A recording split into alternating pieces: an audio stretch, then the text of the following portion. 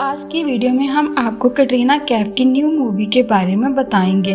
Video शुरू करने से पहले हमारे चैनल को जल्दी से सब्सक्राइब कर ले।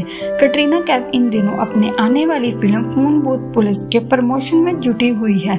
फ़िल्म में कटरीना ने भूतनी का किरदार निभाया है।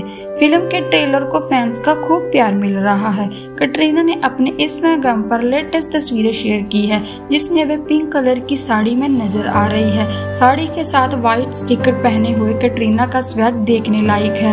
उनकी ये तस्वीरें फ़ैन को खूब पसंद आ रही है। कटरीना ने पिंक साड़ी के साथ अपने बालों को खुला रखा है। तस्वीरों में उनकी प्यारी सी स्माइल हर किसी को अपने और आकर्षित कर रही है। फ़िल्म फ़ोन बूथ के कटरीना के साथ ईशान खट्टर और सिद्धांत चतुर्वेदी भी नज़र आएँगे। फ़िल्म 4 नवंबर को रिलीज़ हो चुकी है। फ़ोन बूथ एक हॉरर कॉमेडी फ़िल्म है। कैटरीना का साड़ी प्यार उनके सोशल अकाउंट पर देखने को मिलता है। कैटरीना कई बार साड़ी में अपनी तस्वीरें शेयर कर चुकी है। कैटरीना ने हाल ही में अपने पति विकी कौशल के लिए करवा चौथ का व्रत रखा था। इस दिन वह रेड कलर की साड़ी में काफ़ी सुंदर दिखाई